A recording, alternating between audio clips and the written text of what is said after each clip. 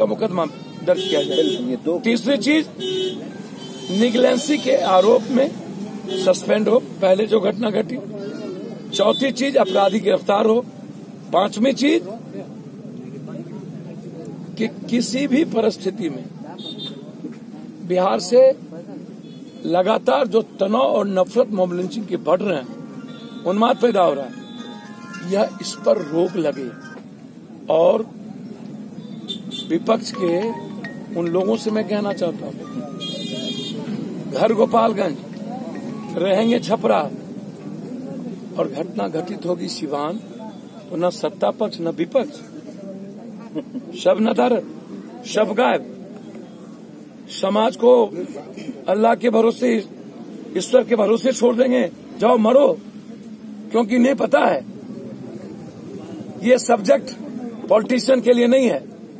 क्योंकि वोट देवे करे। सत्ता इसी के पर इशू ही नहीं बेटी इशू नहीं मौत इशू नहीं सांप्रदायिकता इशू नहीं मोम लिंचिंग इशू नहीं। इशू है एनआरसी ओबीसी एसएससी स्वर्ण। इशू है बैकवर्ड फॉरवर्ड हिंदू मुसलमान। इशू ऐसी चीज़ें बनती समाज बनाने की ज़िम्मेदारी इन पॉलिटिशियन सत्ता पर विपक्ष की नहीं है।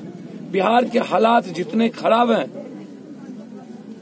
अब मामले एक बार मुझे बेटी के सवाल पर पदयात्रा करना पड़ा और मुझको लगता है कि फिर सिवान के इसी जगह से मुझे मोमलिंचिंग के सवाल पर पदयात्रा शुरू करनी पड़ेगी। पहले बेटी के सवाल पर, अब मोमलिंचिंग के सवाल पर।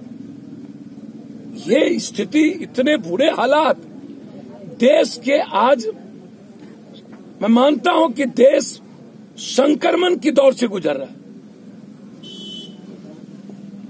देश को जिस तरीके से एसएससी स्वर्ण के बीच ये पॉलिटिशियन नफरत में बांट रहा है दूसरी तरफ़ सांप्रदायिकता में, यह देश के लिए बहुत ही संकट का समय है और मुझे लगता है देश टुकड़े टुकड़े में न बढ़ जाए।